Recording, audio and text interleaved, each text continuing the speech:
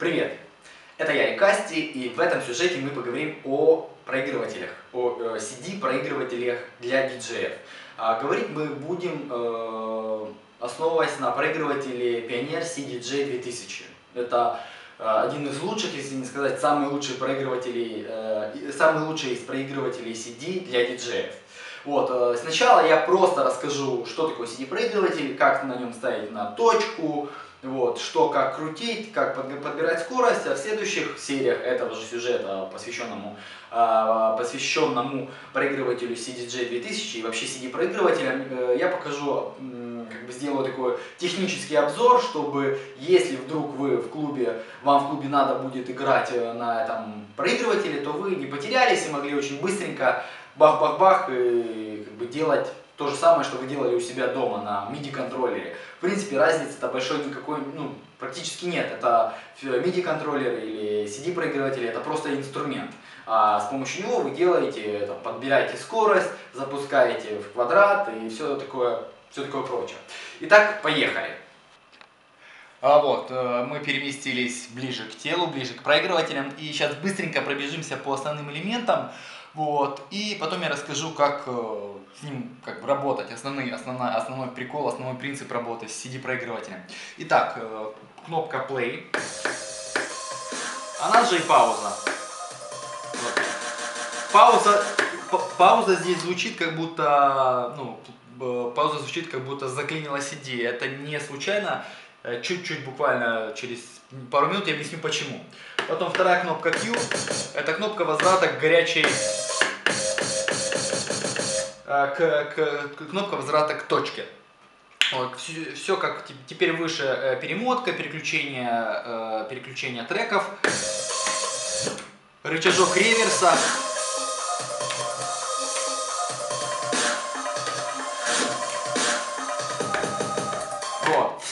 Теперь вот эти три кнопки Hot Q, горячие метки, это кнопки, которые позволяют вам поставить метки на каких-то местах вам нужных. Вот, и быстро к ним, буквально моментально к ним вернуться. Ну, например...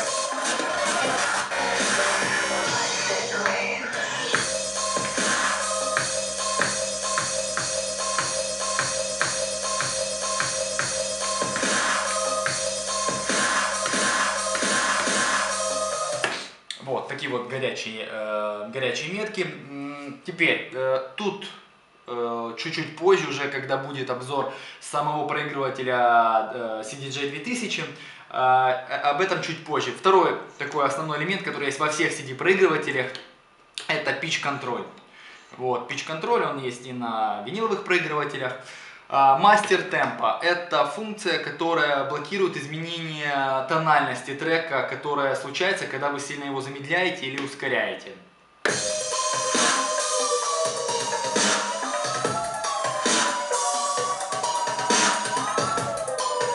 вот вы можете слышать, как вот, как, ну, как меняется тональность. Вот эта э, кнопочка эту проблему очень быстро решает.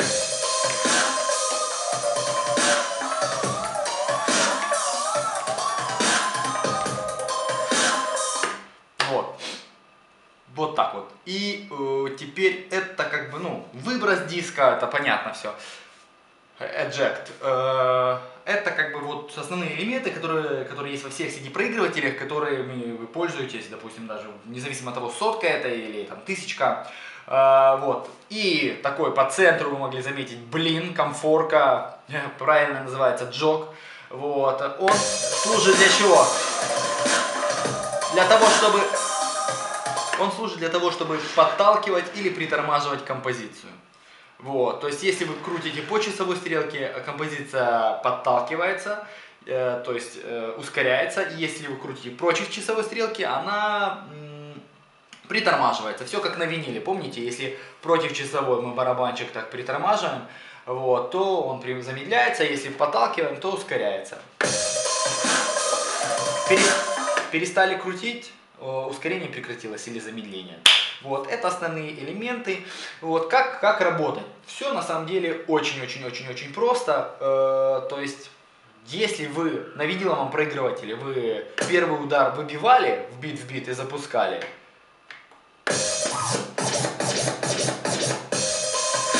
вот так, да, то на CD проигрывателе вы его набиваете с помощью кнопки Q и Play. То есть вы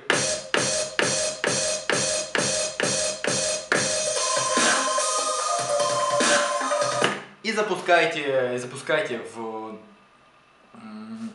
в бит играющему треку. Все дальше вы точно так же, все точно так. Принципы работы, они очень похожи. То есть вы точно так же берете и под, под, подталкиваете или притормаживаете, чтобы определить, опаздывает трек или спешит. Э, вот. И с помощью пича э, корректируете скорость. Все, то есть как бы на этом разница заканчивается. Вот. Э, ну, я, я существенных больше, существенной разницы больше не вижу как бы, между винилом и CD. Да, там э, да, в виниле проблема в том, что надо ставить иголку, там может она иголка соскакивать, здесь этого всего нет все намного удобнее, крутить, подгонять намного удобнее, вы можете очень сильно разгонять. На виниле, допустим, вы так ну, равномерно не разгоните трек или не притормозите. Вот. Теперь о той паузе, о которой я говорил, почему она так чудернатику звучит.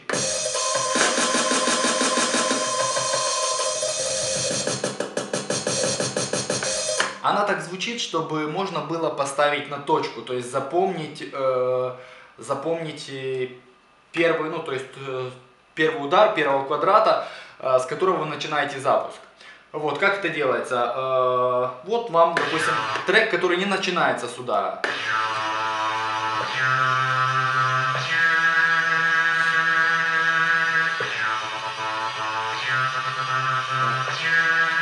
Он трек начинается с какого-то интро инструментального, а вам нужен первый бит, образно, да?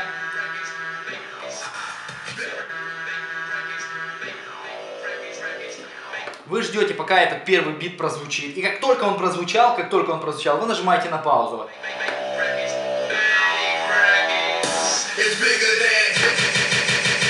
Вот, то прозвучал первый бит, я поставил на паузу. Вы слышите, как этот первый бит повторяется. Это сделано для того, чтобы вы ушами слышали, на каком месте остановилось проигрывание.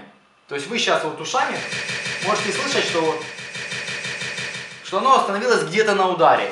Если я теперь буду крутить, если я теперь буду крутить джок, то вот это место, оно будет смещаться.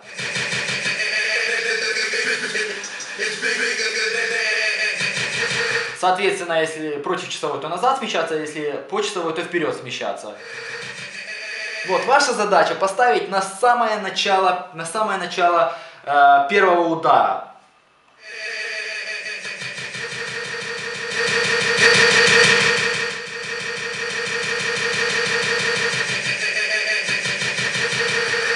Вот он весь...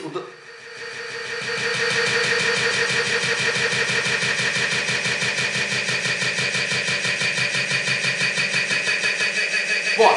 Когда пропал последний щелчок от удара, это то место, где нужно ставить, где нужно нажимать точку Q, то есть запоминать, э, запоминать э, э, нажимать, нажимать точ, кнопку Q и запоминать это место, то есть запоминать точку, ставить на точку.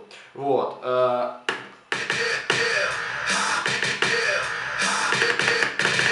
Вот, как проверить, правильно ли вы поставили, э, поставили первую точку или нет. Очень быстро так, просто так, по барабанке пальцами, если каждый раз звучит удар четко-четко, не смазывается, значит вы поставили в нужном месте.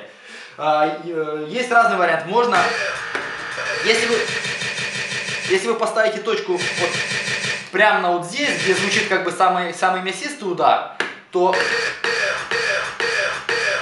то он будет смазан. То есть вы как бы, если удар сравнить с таким как бы всплеском волны, вам нужно иглу, всплеском волны, вам нужно иглу, э, как бы воображаемую иглу поставить перед этой, э, перед этой волной, перед этим ударом.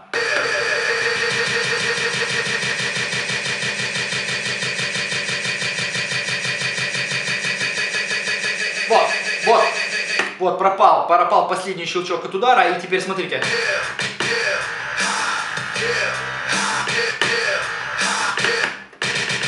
Вот он плотно, хорошо звучит. Все, вы поставили на точку. А, теперь э, тут как бы многие поначалу путаются. Э, здесь нет кнопки стоп. Тут как бы кнопку стоп э, заменяет кнопка Q. То есть если вам надо остановить проигрывание,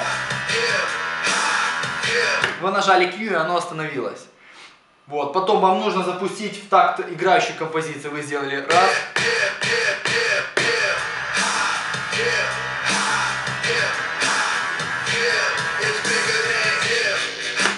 Вот, э, так, пока это все. Э, сейчас, э, ну, вот так вот базовые, базовые, базовые принципы. Э, смотрите вторую серию про CD проигрыватели. Э, это был Ярик Касти. До новых встреч!